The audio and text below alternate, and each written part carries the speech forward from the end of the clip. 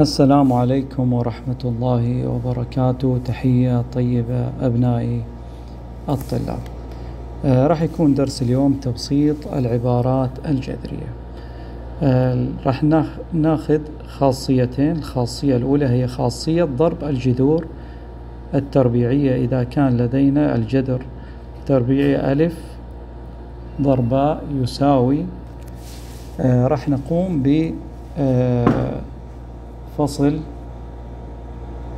الجذور تربيعية. راح تكون جذر ألف ضرب جذر باء هذه الخاصية الأولى. الخاصية الثانية وهي خاصية قسمة الجذور التربيعية. يكون عندي بهذا الشكل ألف على باء. أيضا راح نقوم بتوزيع الجذر على الألف والباء. آه راح يكون درسنا هو عبارة عن تبسيط هذه العبارات الجذرية. آه مثال واحد. بسط العبارات التالية. واحد. إذا كان لدينا جذر أربعة وخمسين. طبعا جذر الأربعة وخمسين آه، ليس مربع كامل يعني ما في عدد أضربه في نفسه ويعطيني أربعة وخمسين. في البداية نقوم آه، بتحليل الأربعة وخمسين إلى عوامله الأولية. أربعة وخمسين قسمة اثنين يعطيني سبعة وعشرين. سبعة وعشرين ما يقبل القسمة على اثنين قسمة على ثلاثة يقبل فيها تسعة على ثلاثة فيها ثلاثة على ثلاثة واحد. آه، فنقوم بكتابة آه، هذه الأرقام. اثنين ضرب ثلاثة ضرب ثلاثة ضرب ثلاثة. بعد ذلك نقوم آه، بأخذ كل عددين مع بعض متشابهان مثلا الثلاثة مع الثلاثة. راح نكتبها بالشكل التربيعي. راح يصير عندي اثنين ضرب ثلاثة تربيع ضرب ثلاثة بهذا الشكل. آه بعد ذلك نقوم باستخدام خاصية آه ضرب الجذور التربيعية وهي عزل آه هذه الجذور. نكتب كل جذر بشكل مستقل. ناخذ جذر اثنين ضرب جذر ثلاثة أس اثنين ضرب جذر ثلاثة بهذا الشكل. آه بعد ذلك آه راح نشوف الجذور اللي تروح مع التربيع. ما عندي إلا فقط مربع واحد. هذا هو فقط. راح يروح آه الجذر مع التربيع. راح تطلع الثلاثة في وين في الخارج. هذه صارت خارج الجذر. يبقى عندي جذر اثنين مضروب في جذر ثلاثة آه، نضربهم في بعض. اثنين ضرب ثلاثة ندخلهم مع بعض.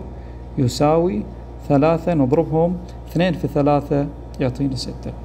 إذا هذا هو تبسيط جذر الأربعة وخمسين.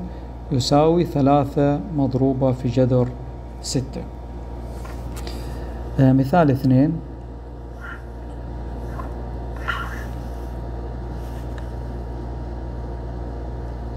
إذا كان لدينا جذر المية وثمانين. آه، أيضا المية وثمانين ليس له مربع كامل. نقوم بتحليل العدد مية وثمانين. قسمة اثنين يعطيني تسعين. آه، قسمة اثنين أيضا خمسة وأربعين. الخمسة وأربعين ما تقبل القسمة على اثنين. تقبل على ثلاثة آه، فيها خمسطعش. أيضا نواصل القسمة الخمسطعش تقبل القسمة على الخمسة والثلاثة. راح ناخذ العدد الأصغر. على ثلاثة فيها خمسة خمسة على خمسة واحد. آه ثم نقوم بكتابته تحت الجذر اثنين ضرب اثنين. ضرب ثلاثة. ضرب ثلاثة ضرب خمسة. ناخذ كل اثنين متشابهين مع بعض. ونكتبهم بصيغة آه، التربيع. يصير عندي اثنين أس اثنين ضرب ثلاثة أس اثنين ضرب خمسة. آه، ثم بعد ذلك الخطوة نكتبهم بشكل مستقل. يصير عندي جذر اثنين أس اثنين ضرب ثلاثة أس اثنين ضرب جذر خمسة. آه، طبعا بيكون عندي الجذر يروح مع التربيع يطلع عندي هنا اثنين ضرب. أيضا الجذر يروح مع التربيع يطلع عندي ثلاثة ضرب جذر خمسة. الخمسة يبقى داخل الجذر ثم نقوم بعملية الضرب ما بخارج الجذر اثنين ضرب ثلاثة يساوي ستة مضروبة في جذر خمسة. هذا هو تبسيط جذر المئة وثمانين. آه مثال ثلاثة.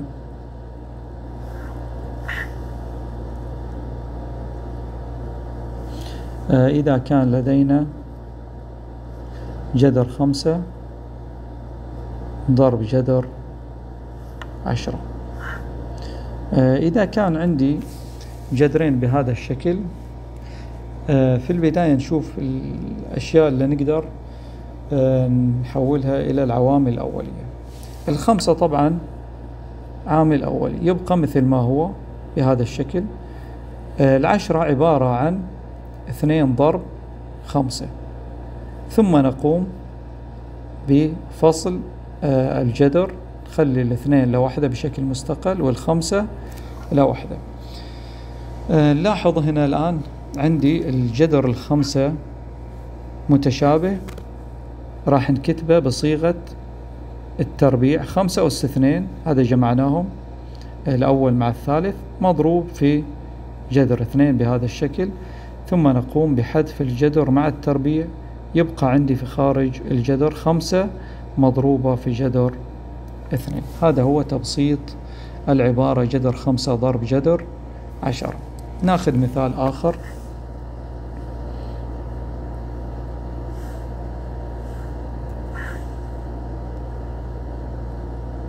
أربعة. آه إذا كان لدينا جذر ستة ضرب جذر ثمانية.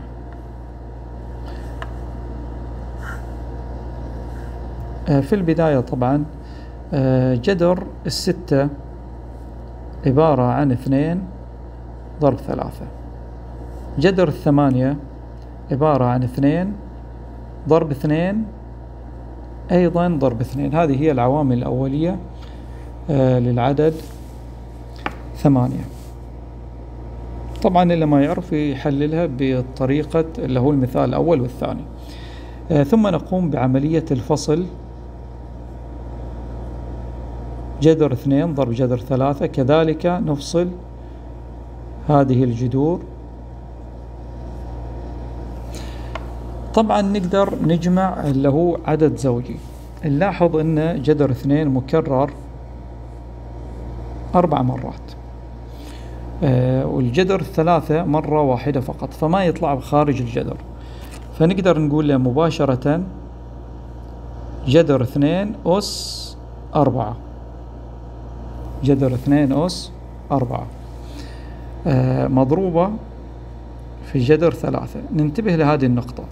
إحنا طبعا إذا حبينا نطلع أي شيء من داخل الجذر في أس ناخذ نصف هذه القوة. فهنا عندي اثنين أس أربعة. إذا منطلعها خارج الجذر يصير اثنين أس اثنين. لو كان عندي اثنين أس ستة داخل الجذر تطلع اثنين أس ثلاثة وهكذا. فطلعت الآن هذه برا الجذر لأن هنا عندي بحكم عندي أربعة طلع نصفها اثنين. مضروبة في جذر ثلاثة. اثنين أس اثنين تساوي أربعة مضروبة في جذر ثلاثة. هذا بالنسبة إلى سؤال رقم أربعة. مثال رقم خمسة.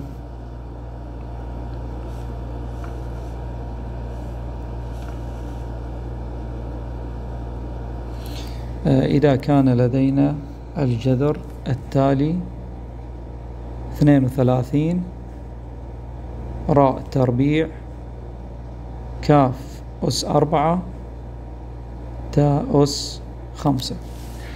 آه، في البداية آه، نجيب تحليل الرقم الموجود عندي الاثنين وثلاثين. اثنين وثلاثين قسمة اثنين ستة عشر قسمة اثنين آه ثمانية قسمة اثنين أربعة قسمة اثنين اثنين قسمة اثنين. إذا يكون عندي اثنين أس خمسة. اثنين أس خمسة راء أس اثنين كاف أس أربعة تاء أس خمسة. في البداية طبعا نحاول أن نفصلهم. اثنين أس خمسة. بعدين راح ننضمهم إلى بعض. آه راء تربيع. كاف تربيع. تاء أس خمسة. بالنسبة إذا كان الأس فردي فيبقى واحد داخل الجذر شوف الآن. خليه بهذا الشكل اثنين أس أربعة ضرب اثنين. ضرب. را تربيع ضرب. هذه عفوا كاف أس أربعة بهذا الشكل. وهنا طبعا نفصلهم آه بيكون تاء أس أربعة ضرب تاء. نفصلهم عشان يكون في زوجي والفردي يكون لوحده. فإحنا هنا راح نطلع نصف الاثنين اثنين أس أربعة نصفه اثنين أس اثنين يبقى عندي داخل الجذر اثنين بهذا الشكل. آه هنا طبعا راح يروح التربيع مع الجذر يبقى عندي راء خارج الجذر أيضا هنا راح تطلع الكاف كاملة ناخذ نصف الأس إلى الكاف يصير عندي كاف أس اثنين خارج الجذر لأن اثنين بيروح إلى الجذر آه أيضا هنا راح يطلع عندي التاء نصف نصف اللي هو الأس اللي إليها. تاء أس أربعة يصير تاء أس اثنين ويبقى تاء واحدة داخل الجذر فنضرب ما بخارج الجذور. اثنين أس اثنين أربعة آه أربعة مضروبة في كاف تربيع. آه أيضا في تاء تربيع آه مع الراء أيضا الراء هذه في الخارج. آه عندي داخل الجذور عندي اثنين تاء اكتبهم بهذا الشكل اثنين تاء في جذر واحد بهذا الشكل. إذا بيكون عندي آه أربعة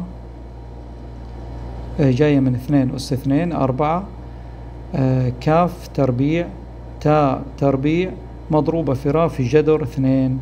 تاء هذا بالنسبة إلى تبسيط هذه العبارة. ناخذ مثال ستة. آه مثال رقم ستة.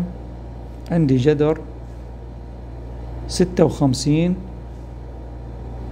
سين صاد أس عشرة كاف أس خمسة. نبدأ في البداية بالرقم. راح نجيب الآن تحليل الستة وخمسين. آه على اثنين فيها ثمانية وعشرين. على اثنين أربعة عشر. على اثنين سبعة على سبعة واحد. فبصير عندي آه تحليل كالتالي اثنين أس ثلاثة ضرب سين ضرب صاد أس عشرة ضرب كاف أس خمسة. ثم نقوم بعملية الفصل اثنين أس ثلاثة آه ضرب سين ضرب صاد أس عشرة ضرب كاف أس خمسة. عندي طبعا نلاحظ أن الأس إلى جذر الاثنين فردي فناخذ نصفه. نعزلهم الآن اثنين أس اثنين ضرب اثنين بهذا الشكل ضرب سين آه ضرب صاد أس عشرة ضرب كاف نخليها أس أربعة ضرب كاف منفردة بهذا الشكل. ثم ناخذ نصف الاثنين فيطلع عندي هذا الجزء. خليه بلون آخر. هذا طبعا ناخذ نصفه. نصفه طبعا هو اثنين. يبقى آه الاثنين داخل الجدر بهذا الشكل ضرب. السين تبقى داخل الجدر لأن السين أس واحد.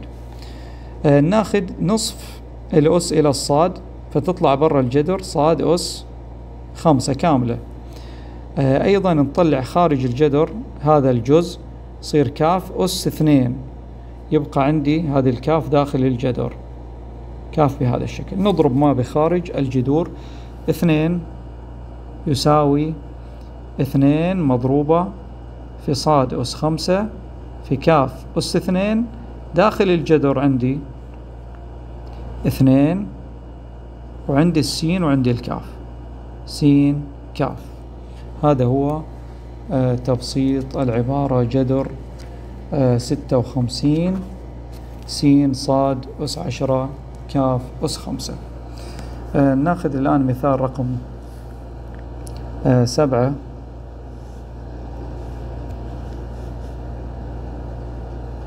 إذا كان لدينا ثلاثة اثنين زائد جذر اثنين.